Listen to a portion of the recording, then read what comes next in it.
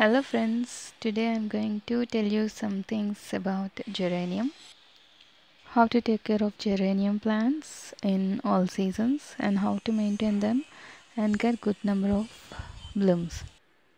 You can see my geranium plant here, it has given so many blooms here. Everywhere it has grown big. I bought it at around 130 rupees last year and I transplanted into this pot. This is around a 8 inch pot 8 to 9 inch pot. Coming to the soil it is a mix of coco peat and uh, garden soil. And this is nothing but uh, the liquid fertilizer made of uh, mustard cake. And it became like this dry. So first of all while talking about the soil uh, how to maintain the soil uh, we need to uh, um, dig the soil nicely okay to erect the roots it's very important for any plant when we do that regularly. The plant's roots grow healthily and they get good amount of oxygen and fungus will not grow. Once in 15 days you can give organic fertilizer or you can also give um, liquid fertilizer in a weekly basis. On a weekly basis you can give liquid fertilizer. I give liquid fertilizer organic one that too which is made from kitchen waste. Uh, once in three days you can go through my video and you'll get to know how to prepare it.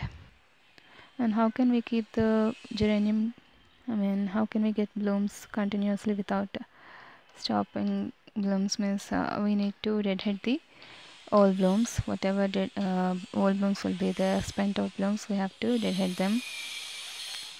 Till the stalk base of the stalk we need to remove. Like that here there are around uh, five set of blooms you can see here. And uh, you need to remove these dry leaves. Uh, so that new leaves will come new branches will come and they will bear new buds Coming to pests, it is not uh, that affected by pests. Till now, it didn't get any pest infestation. But uh, what I heard is this geranium plant is uh, very susceptible to fungal infection. So uh, during rains, I'll keep it away from the rain, like uh, in a shade, under the shade, I'll keep it so that rain will not fall on it directly. If it falls on uh, the plant directly, it might get fungus and the plant might die. It is the reason most of the geranium plants will die in rainy season and uh, the way we can uh, keep them safe and uh, keep them we can save them from dying is by just keeping them in an area where rain will not fall in it directly.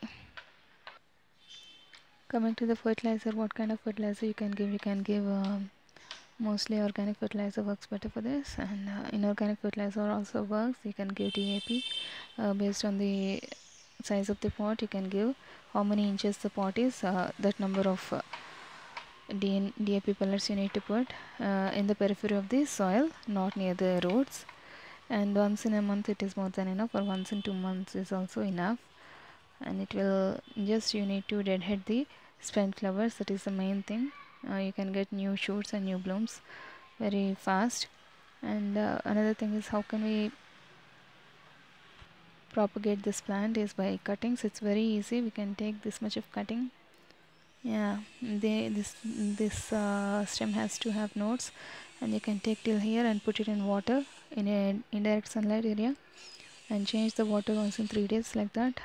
Uh, they will form roots within 15 days. It's very easy to propagate this geranium plant. Actually this plant is an annual plant so we can make cuttings and we can keep the plants. Once we buy once uh, it is more than enough we can propagate the plant by stem cutting so easily. And it gives a great look. Actually these uh, flowers have bloomed around 10 days. Uh, I kept it in a um, area where direct rain will not fall so the blooms are like this. Before I used to keep it in an open areas where it used to I mean the rain used to uh, damage all the flowers and also the leaves so I kept it here. It's growing nicely. This is rainy season also. The plant is not at all affected. You can see the growth nicely. It's blooming. I'm happy with this. And these are very easy to grow plants and give good look. Um, actually these plants give more flowers in summer but in now also these flowers uh, these plants are giving nice flowers. Coming to organic fertilizer any kind of organic fertilizer you can give like uh, mustard cake uh, cow dung fertilizer or anything what i do is i'll uh, prepare a liquid fertilizer with uh, organic kitchen peels whatever we have. Um, by grinding them and putting them in water for three days. Rice wash water dal wash water all these things i use. I'll put some jaggery in there so that uh, it um, helps in the growth of the good microorganisms. And thus they help the growth of the plant and also the fermentation process whatever takes place in that helps in increasing the acidity causing the acidity of the uh, natural acidity I say which uh, helps the plant to give more blooms. Actually many of the plants like acidic soil to give blooms. Yeah that's it friends. If you have any questions you can ask me. Thank you. Bye